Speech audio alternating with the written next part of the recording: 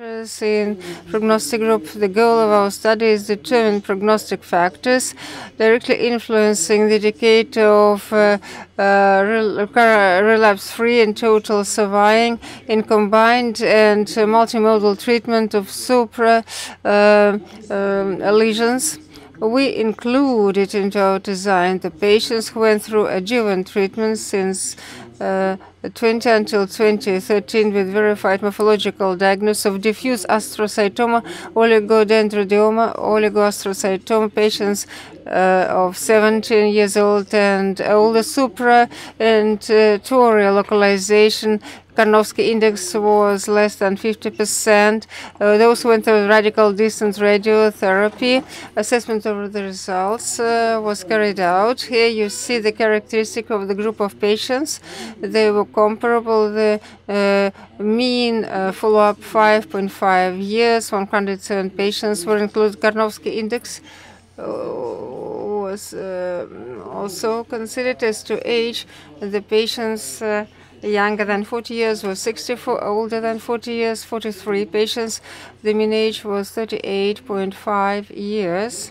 Depending on histological structure, patients uh, were divided into the following diffuse astrocytoma 57, oligodendroglioma 36, oligoastrocytoma uh, 14. While morphological study, we increased WHO malignancy criteria and increased proliferation Ki57, that is less than 5%. Characteristics of the group of patients. Patients who were on chemotherapy, uh, 19. Without chemotherapy, 33.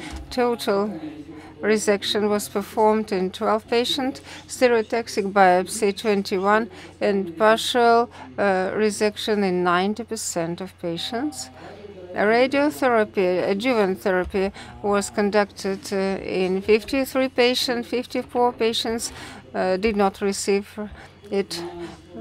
The table shows the indicators of progression-free uh, survival in patients with infiltrative glioma, low, uh, uh, low degree of malignancy, histological uh, criteria, age, uh, size of primary tumor had prognostic influence, as well as shift of median structures, the presence of neurological deficit, and debut or onset of the disease uh, influence the indicators of progression of free survival uh, with infiltrative glioma of low uh, degree of malignancy while analyzing total survival rate, histological form, age of patient, size of tumor were significant.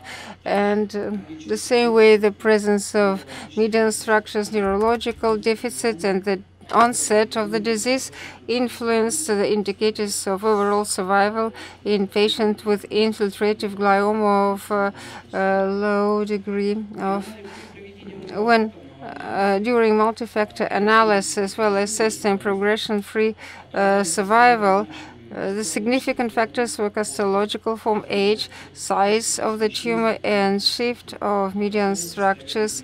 They were significant indicators while multi-factor analysis. That was analysis of progression-free survival. While analyzing overall survival, all the above-mentioned factors, histological form, age, size, shift of the median structures, as well as neurological deficit, caused, uh, influenced the indicators of total overall survival of this group of patients. The slide shows analysis of progression-free survival by Kaplan-Meier, comparison of two groups, uh, EORTC and uh, RTOG, and uh, uh, the significant influence uh, was caused by the indicators of overall survival. Uh, pro progression-free survival in EORTC is higher versus uh, EORTC group for unfavorable prognosis. In RTOG, the differences uh, received an analyzing statistic uh, factor. You see that uh, favorable group of uh, uh, talk, the survival rate indicators are later versus the group of unfav unfavorable uh, prognosis, while examining progression-free survival Mm, prognostic group while analyzing overall survival and comparing these prognostic groups. In our study, we found, found out that favorable group EORTC uh, survival is statistically more significant versus unfavorable uh, EORTC group. But in the model of prognostic group of RTOG, no significant differences were identified, although the graph shows that uh, favorable group, uh, in this favorable group, these patients live longer and better versus unfavorable uh, uh, RTOG group. While analyzing two prognostic models, we performed correlation analysis of Pearson and we identified multicollinearity between prognostic group, uh, EORTC, and indicators of progression-free survival and overall survival versus the group uh, uh, when we analyzed indicators of, of prognostic group of RTOG, multicollinearity was not identified. Uh, well, further deep analysis of, uh, we performed regression analysis and uh, compared two models, uh, EORTC and RTOG, we saw that progression-free survival is uh, higher versus the group of RTOG.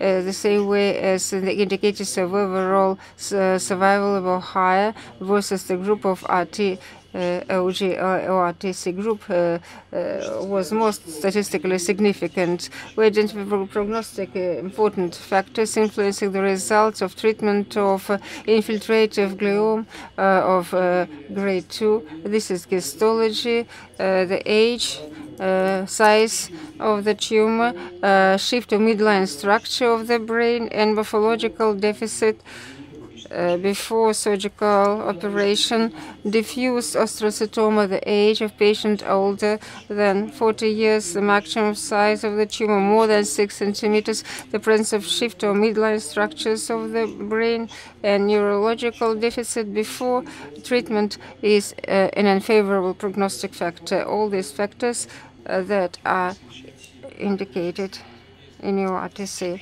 Sorry, we have just half an hour and six presentation. So we are compelled to introduce new regulation, not to listen to everyone. Just give six minutes for each presentation. Uh, the acuteness of the debut of infiltrative glioma of low grade and radicality of surgical treatment, they are not prognostically significant factors. According to our analysis, we have to say uh, that prognostic uh, COG less significant regarding prognostic EORTC, which uh, speaks in favor of size, lo localization of primary uh, tumor localization in patients with infiltrated diffuse uh, low-grade glioma.